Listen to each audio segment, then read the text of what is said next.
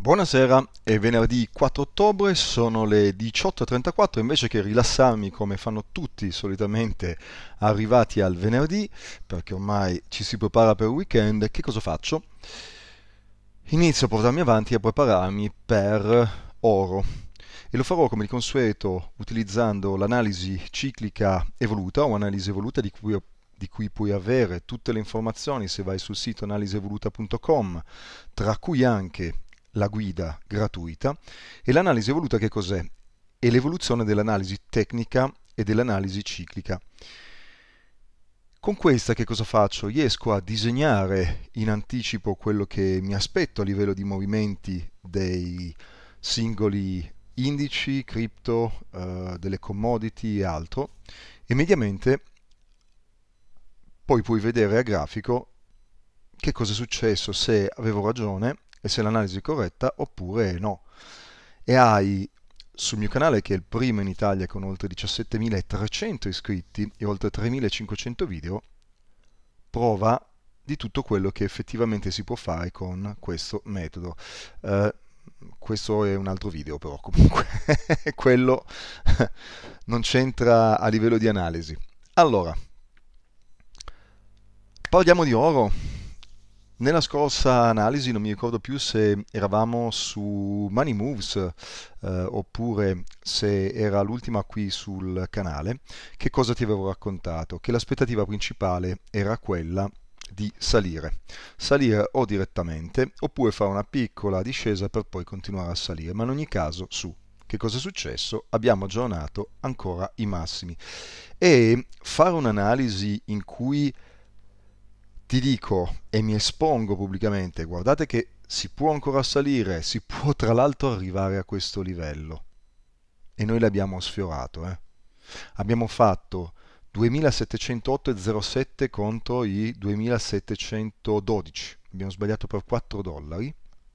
Ecco, esporsi in questo modo, disegnando le aspettative, non so quanti su, su YouTube o sui social riusciate a trovare Qui facciamo davvero trading tutti i giorni e lo puoi anche andare a vedere sul canale di BNP Paribas con House of Trading come programma. Quindi, analisi corretta, adesso che cosa succede? Perché in tantissimi hanno visto che l'oro ha fatto una corsa micidiale, siamo entrati in un canale persino di breve periodo iperrialzista, canale ehm, che è l'evoluzione dell'analisi ciclica, è una parte di quello che posso farti vedere almeno del Tecnica A4. E che cosa sta succedendo? Tecnica operativa di trading 4. Eh? Nell'analisi ciclica di Hearst, anzi del migliorino, c'era una tecnica per eh, essere tranquilli di andare a fare trading e ogni tanto purtroppo ci si beccava il raccordo contro e si andava in stop loss noi ne abbiamo 4 e con il Tecnica 2 riusciamo ad evitare quasi tutti o tutti, no, quasi tutti dai, i raccordi e quindi le finte che ci possono essere. Allora, che cosa abbiamo qua? Andiamo a prenderci bene, anzi, rifacciamo il punto della situazione. Salita fortissima.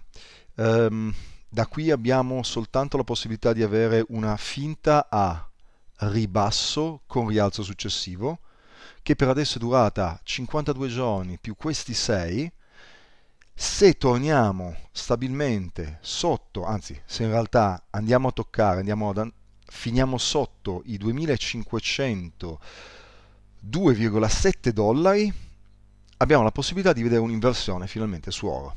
Dopo tutta questa salita, dopo un anno in cui ha praticamente battuto penso quasi tutti a livello di, di, di performance o comunque è un asset che ha performato estremamente bene.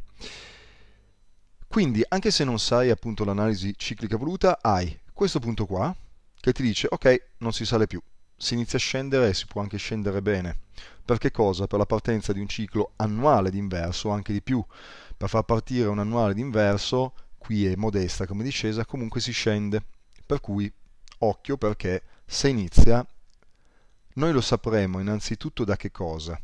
Lo sapremo innanzitutto da questo punto violato e se violiamo questo punto ovviamente in primis dalla violazione della media mobile Qui in rosso la più rapida delle due e ancora più velocemente dalla temporanea violazione del canale che appunto ti ho disegnato. Quindi hai questo che funge da livello di supporto, 2638,4, un secondo livello sotto, questo, e quindi puoi misurare se questi due livelli terranno oppure se finiremo direttamente sulla media mobile, eh, sulla, sul canale, sulla linea eh, bassa del canale, sulla parte bassa del canale, successivamente sulla media mobile e poi andremo a finire qui sotto.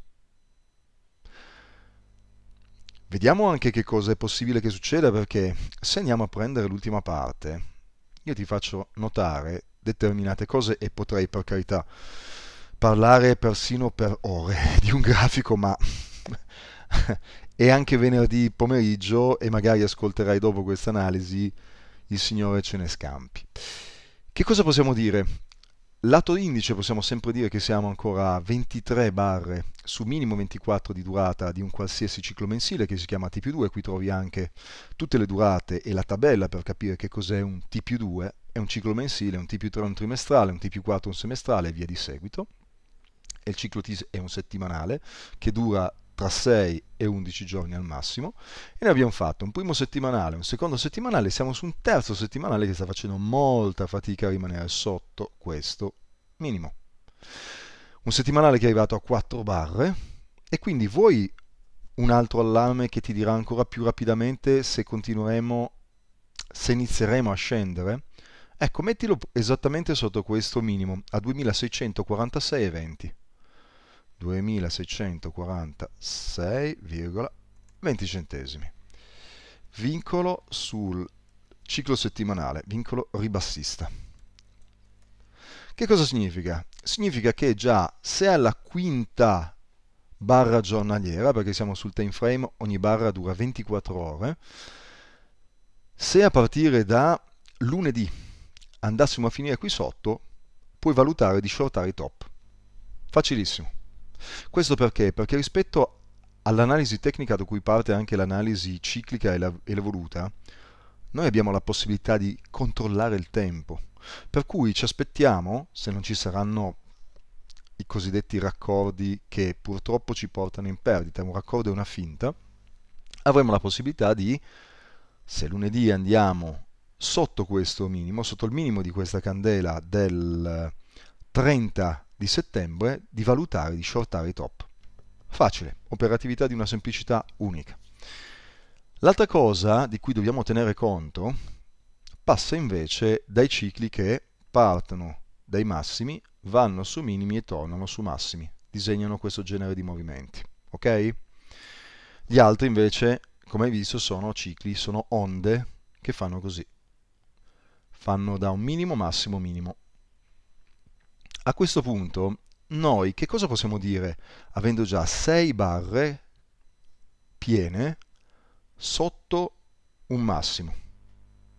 Che da qui c'è la possibilità rispetto agli altri cicli che hai visto, siamo rimasti per poco tempo sotto un massimo, tranne che quando è partito un ciclo mensile inverso, tranne quando è partito un ciclo me, ehm, ehm, mensile inverso, eccetera, eccetera. Qui possiamo dire che può iniziare effettivamente un ciclo mensile di inverso. E cosa significa?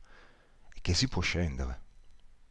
Che si può scendere vincolandosi anche grazie a questo, alla violazione del minimo che ti ho appena dato, che si può arrivare anche a un supporto, che si può andare a finire sulla media mob, eh, sulla, sul canale basso del Tecnica 4 e tanto altro. Attenzione perché come faccio a sapere se le cose non stanno invece andando bene?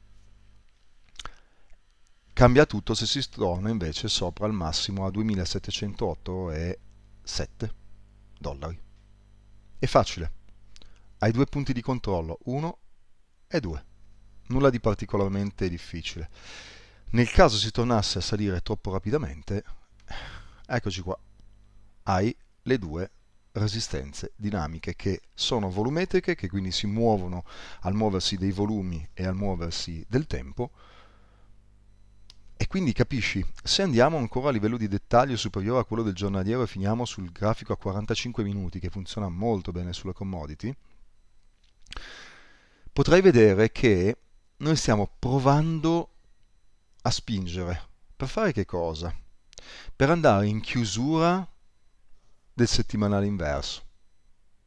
Qui siamo arrivati a 29 barre, ma prima ci si vincola a continuare a salire perché si supera il massimo di partenza. Poi si supera però il minimo, è una cosa estremamente strana, quindi non prendo tanto in considerazione il fatto che qui si possa essere chiuso su questo massimo il nostro sesto ciclo giornaliero inverso e in più si chiude con candela verde, candela giornaliera verde se si vuole chiudere a sei giorni il settimanale d'inverso, altrimenti non chiude, va avanti anche fino a 8, 11 e tutte le durate intermedie. E quindi dato che non è possibile che abbia ancora chiuso, ti faccio vedere che se qui venisse confermato il nostro raccordo, potremmo continuare a muoverci per altri tre giorni al minimo appartenenti sempre a questo settimanale d'inverso. Guardando la situazione con queste candele che sta facendo, a me un po' di paura la fa che non, che non si sia vincolato di sesto ciclo giornaliero inverso. Ho provato rapidamente a dare un'occhiata alla centratura perché purtroppo quella a 45 minuti non, non, ho avuto tutto il tempo per andarla a vedere. Ah, caspita, vediamo qua, vediamo se invece l'ho trovato. Dunque, così ci fermiamo qua. No, non ci sono. Sì, ci sono le barre sotto. Fosse partito da qui sarebbe veramente una roba. Dimmi di no. Sì, ci sono 5 barre, pazzesco.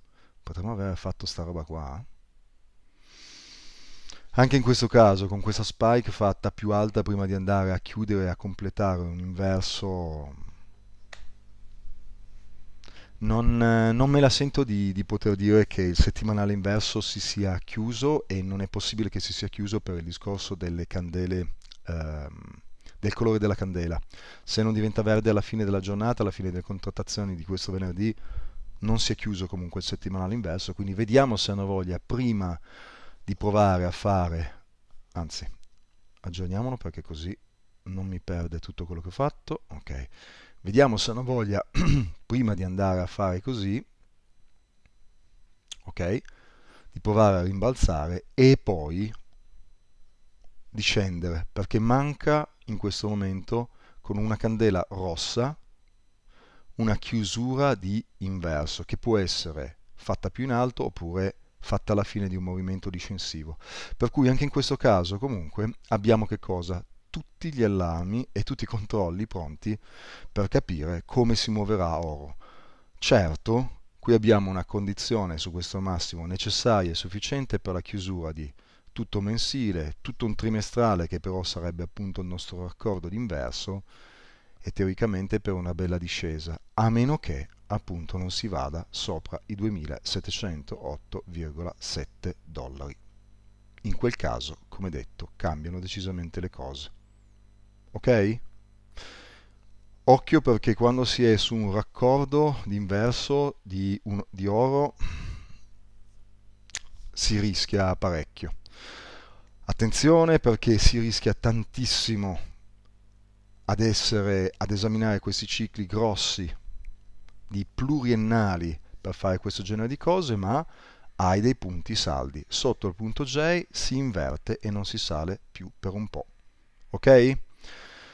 Mi auguro che ti sia piaciuta questa analisi, ti ringrazio per il tuo tempo, se vuoi vederne di più di oro, ovviamente metti un bel like e condividila con tutti gli amici che hanno voglia di fare trading reale tutti i giorni in maniera seria e professionale.